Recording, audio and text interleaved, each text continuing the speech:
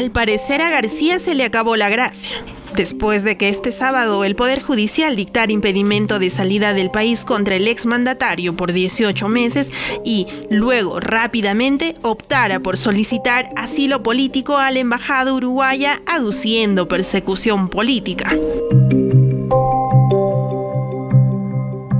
El líder del APRA, Alan García, hoy supuestamente perseguido político.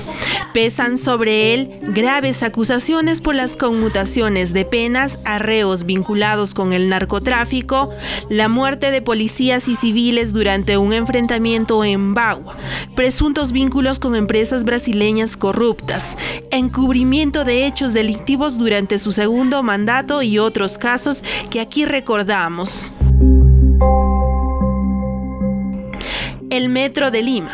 La principal empresa investigada del caso Lavajato, Odebrecht, lideró el consorcio que se encargó del tren eléctrico en el Perú, una de las obras de las que se jacta Alan García.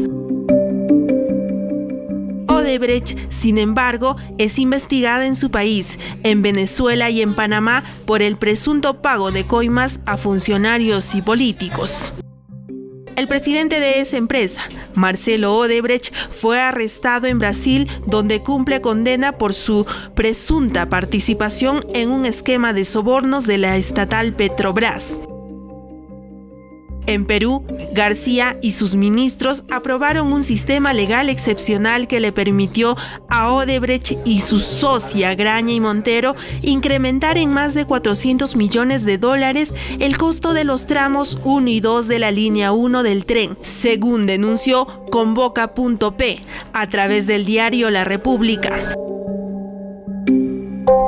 para todos. La mega comisión, grupo de trabajo parlamentario que investigó el segundo gobierno de Alan García, detectó indicios de corrupción en la implementación del programa Agua para Todos.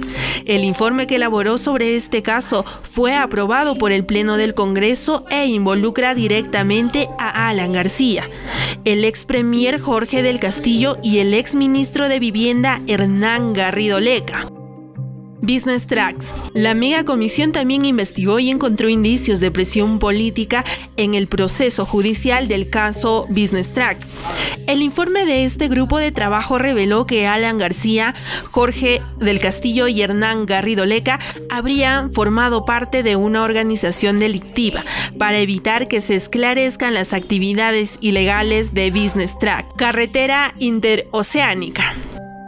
La policía de Sao Paulo intervino en el 2009 las oficinas del grupo Camargo Correa y las viviendas de sus altos directivos. Colegios emblemáticos. La mega comisión detectó que la remodelación de colegios emblemáticos durante el segundo gobierno de Alan García habría servido para encubrir grandes desembolsos de fondos públicos a terceros. El baguazo. Decretos legislativos impulsados por el segundo gobierno de Alan García provocaron un sangriento enfrentamiento el 5 de junio del 2009 entre policías y pobladores indígenas en la zona denominada Curva del Diablo, en Bagua. Murieron 22 policías, 10 civiles y desapareció el mayor de la Policía Nacional del Perú, Felipe Bazán el escándalo en banco de crédito. El líder del APRA fue acusado del delito de enriquecimiento ilícito por su presunta participación en un acto de corrupción dentro del Banco de Crédito y Comercio Internacional. Hospitales fantasmas. A través de decretos de urgencia, Alan García logró que el Ejecutivo realice varias contrataciones sin licitaciones previas durante su segundo gobierno.